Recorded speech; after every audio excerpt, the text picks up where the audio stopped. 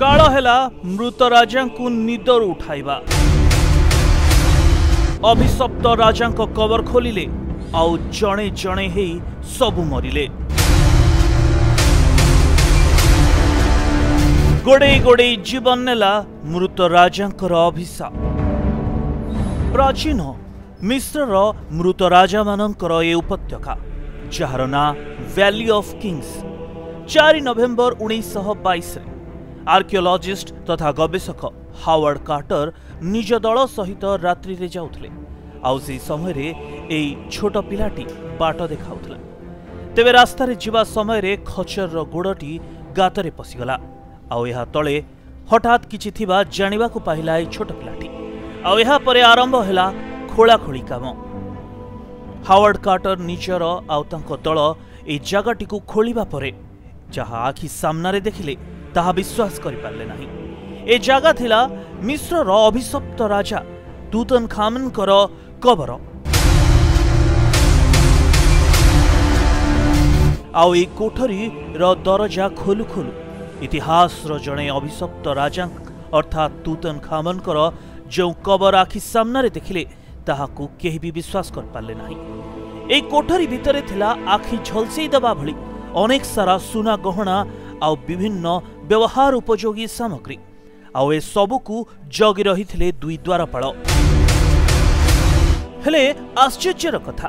ଏ ଜାଗା ଉପରେ ଥିଲା ନାହିଁ ସେଭଳି କୌଣସି ବଡ଼ ପିରାମିଡ୍ ଆଉ ନାହିଁ ଏଥିରୁ କୌଣସି ସାମଗ୍ରୀ ଚୋରି ହୋଇଥିଲା ଯାହା ଗବେଷକ ନିଜ ହିସାବରୁ ଜାଣିପାରିଲେ ପ୍ରାୟ ତିନି ହଜାର ବର୍ଷ ତଳର ଇଏ ଥିଲା ଏକ କବର ଅର୍ଥାତ୍ ତୁତନ ଖାମନଙ୍କର ଯିଏକି ତାଙ୍କ ସମୟରେ ଜଣେ ଅଭିଶପ୍ତ ରାଜା ଥିଲେ ଯେଉଁଥିପାଇଁ ତାଙ୍କ ପାଇଁ ପିରାମିଡ଼ ତିଆରି କରାଗଲା ନାହିଁ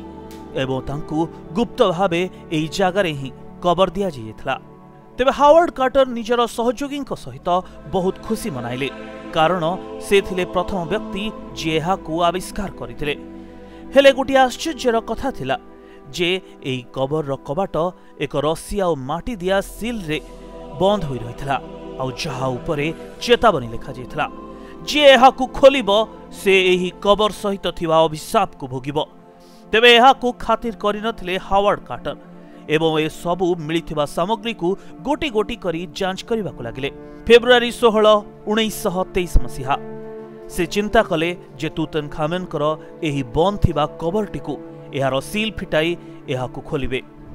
ତିନି ହଜାର ବର୍ଷ ପରେ ଖୋଲିଲା ତୁତନ ଖାମାନଙ୍କର ଏହି କବର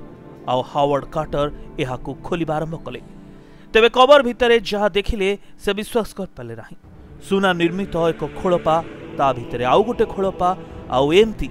ନଅଟି ଖୋଳପା ରହିଥିଲା ଗୋଟିଏ ପରେ ଗୋଟିଏ ଆଉ ସେ ଏହାକୁ ଗୋଟିଏ ଗୋଟିଏ କରି ଖୋଲିବା ଆରମ୍ଭ କଲେ ଆଉ ଶେଷରେ ସେ ଦେଖିବାକୁ ପାଇଥିଲେ ମମି ଦେହରେ ଗୁଡ଼ା ହୋଇ ରହିଥିବା କପଡ଼ା ସବୁ ଆଉ ଯେତେବେଳେ ସେଇ କପଡ଼ା ଖୋଲିଲେ তুতন খামেনকর মমি আখি আগে পড়া যা তিনি হাজার বর্ষ পুরোনা তবে বহুত হি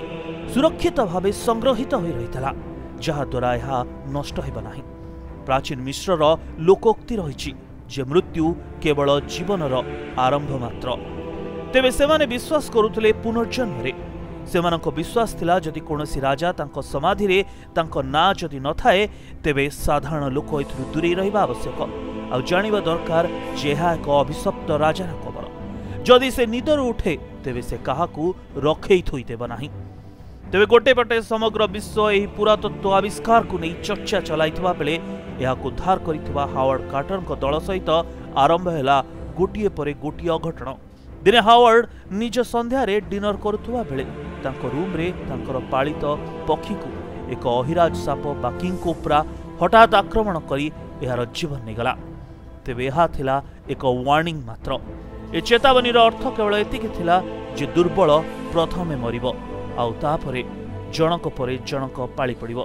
ତେବେ ମିଶ୍ରର ପୁରାତନ ରାଜା ବା ଫ୍ୟାରୋଙ୍କର କବରରେ ବା ତାଙ୍କ ରାଜ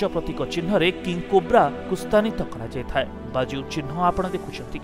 ଆଉ ଏହି ଆକ୍ରମଣରେ ଅନେକ ଭୟଭୀତ ମଧ୍ୟ ହୋଇଯାଇଥିଲେ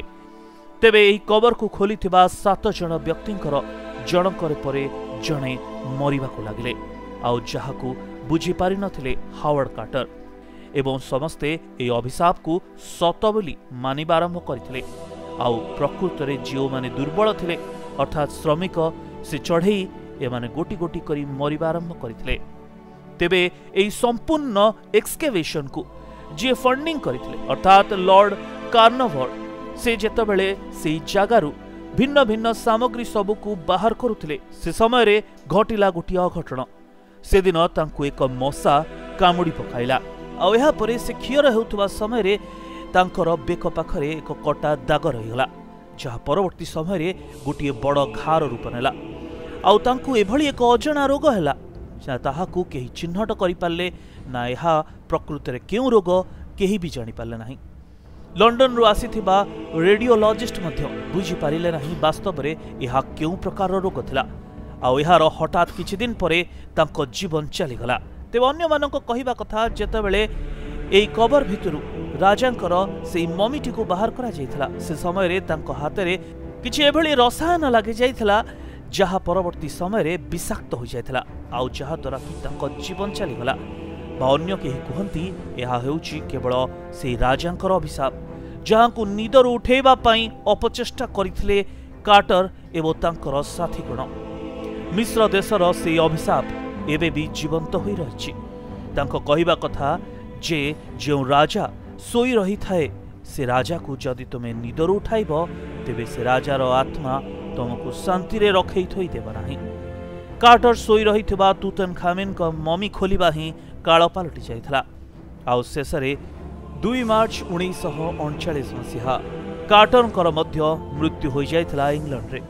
ଆଉ ଯେତେଦିନ ସେ ବଞ୍ଚିଥିଲେ ସେ ମଧ୍ୟ କିଛି ଦୂରାରୋଗ୍ୟରେ ପୀଡ଼ିତ ହୋଇ ରହିଥିଲେ ଯାହା ଜାଣିବା ଅନେକଙ୍କ ପାଇଁ ଅସମ୍ଭବ ହୋଇ ରହିଥିଲା